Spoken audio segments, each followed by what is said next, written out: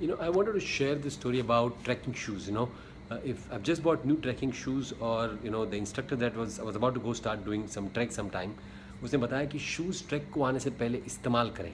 you know if not you gone have blisters in your feet because अगर नए नए माल अगर आके इस्तेमाल करोगे ट्रैक पर you gone have blisters and I you know why is why is saying so so I said please use your shoes so I start using my shoes and starting to walk around a little bit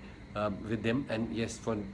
really i mean the instructor has experience पैरों में blisters आने शुरू हो गए हैं already and the trek is still way back so the idea is you know uh, we got to practice uh, wearing our equipment before you get used to it so that you're not going to have blisters that's the point the point here is in business let me ask you a question when you go for a meeting do you ever get blisters in your meeting what do i mean by that do you go for a meeting like just like that or do you go for your meeting prepared मतलब ये है कि when you go to meet a customer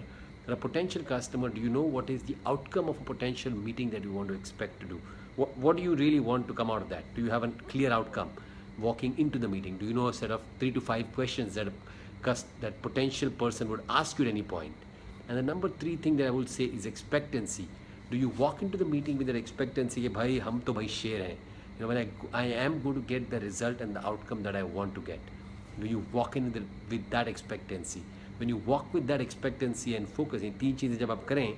that's the point when you do not get blisters in your meeting if not you go unprepared you're going to have blisters in your meeting it's going to give you lots and lots of pain so stay prepared go prepared thank you